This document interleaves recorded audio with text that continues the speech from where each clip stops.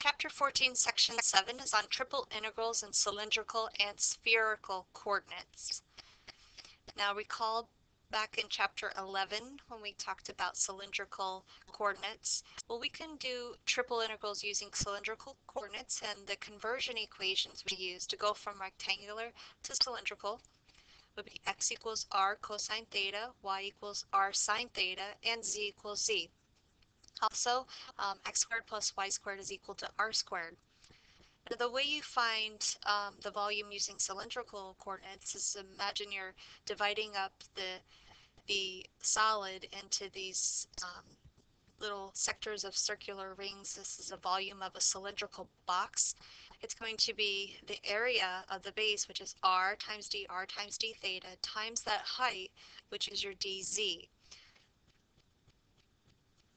So a triple integral, which is where the bounds are define a, a solid region Q of some function of x, y, and z dv, where dv is your differential volume, can be written as um, some function triple integral where the outside bounds of integration are the base region R and the inside bounds would be your bottom z to the top z of the solid region times the differential area. So that dV, differential volume, can be dz dy dx or dz dx dy, or even using cylindrical coordinates, that can be dz dr d theta or dz d theta dr, adding that r to the differential area.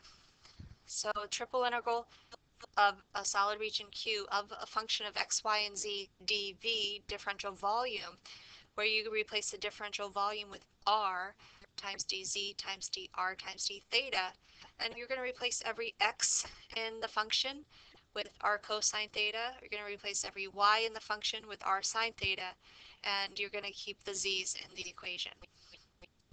The, in this case, the inside differential is dz, so the bounds for the inside would be the bottom z to the top z of the solid region.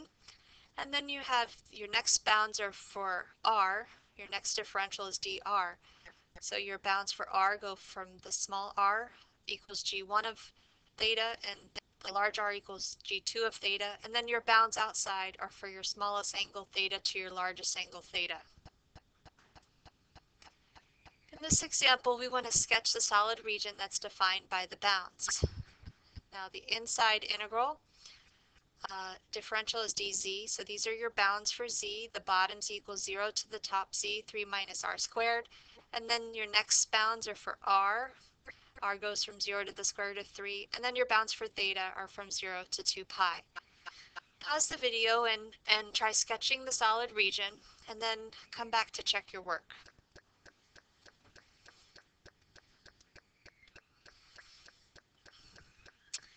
All right, so the solid region is defined by the bound z, where z is between 0 and 3 minus r squared.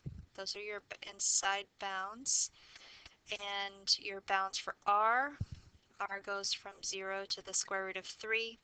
And then theta goes from 0 to 2 pi.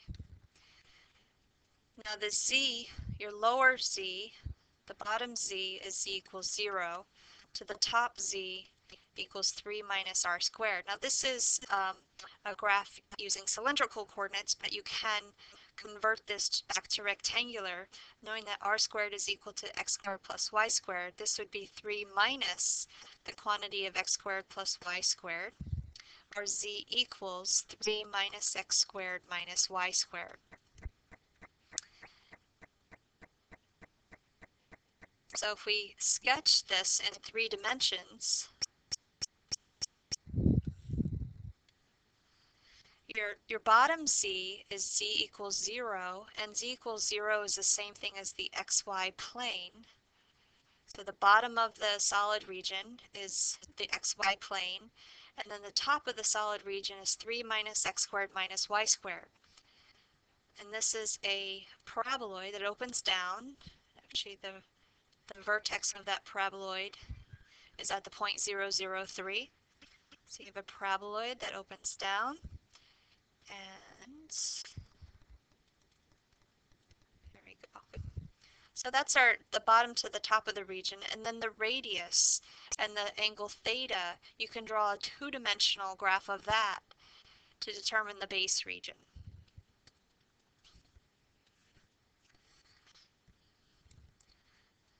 So this is your x and y axis, your xy plane, and the radius is from 0 to the square root of 3. And the angle theta is from 0 all the way around to 2 pi. So that base region is a circle. This base region here corresponds to this base region here. And the triple integral itself gives you the volume of this solid region, where the bottom of the solid region is the z equals 0, the top of the solid region is z equals 3 minus r squared, converting that to rectangular, so you see the paraboloid, and that base region is from r equals 0 to square root of 3, while the angle goes from 0 to 2 pi.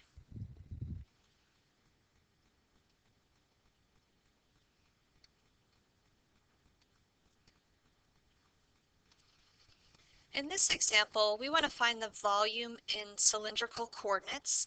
Find the volume of the solid region Q cut from the sphere x squared plus y squared plus z squared equals 4 by the cylinder r equals 2 sine theta. Now this equation of the sphere we can sketch that in three dimensions. And the equation r equals 2 sine theta, well, you can graph this in polar mode on a graphing calculator, and you'll see that that is a circle, where the center of the circle is on the, the y-axis here. And then you're going to be cutting through that sphere uh, by the cylinder r equals 2 sine theta.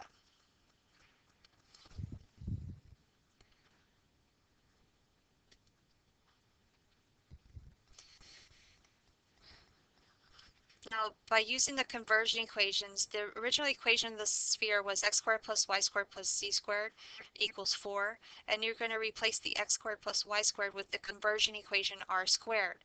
So r squared plus z squared equals 4. If you solve this equation for z by subtracting r squared and then taking the square root, the bottom of the solid region is the negative square root of 4 minus r squared, and the top of the solid region is the positive square root of 4 minus r squared. And then r is the projection of that solid onto the r theta plane or the xy plane and the bounds for r go from 0 to 2 sine theta, and the bounds for theta go from 0 to pi. So the volume of that solid region can be expressed as a triple integral dv. In this case, dv is written as r times dz times dr times d theta, where the bounds, the inside bounds are your bottom z to the top z, and then your bounds for r go from 0 to 2 sine theta, we were given r equals 2 sine theta as the equation in the original problem. And then our bounds for theta go from 0 to pi.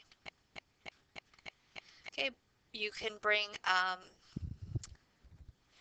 okay, in this case, they're using the, the concept of symmetry here to write this integral. Instead of going from 0 to pi, they're going from 0 to pi over 2 and dividing it by 2.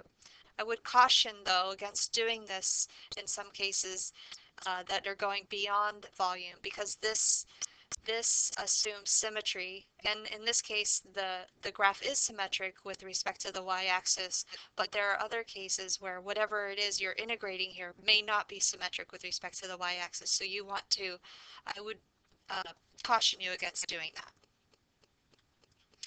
Uh, when you do work it out you you take the antiderivative of the inside with respect to z treating z as a variable and r and theta as constants. And when you simplify, you get this double integral. So we started off with a triple integral for volume, and then evaluating the inside, we get a double integral.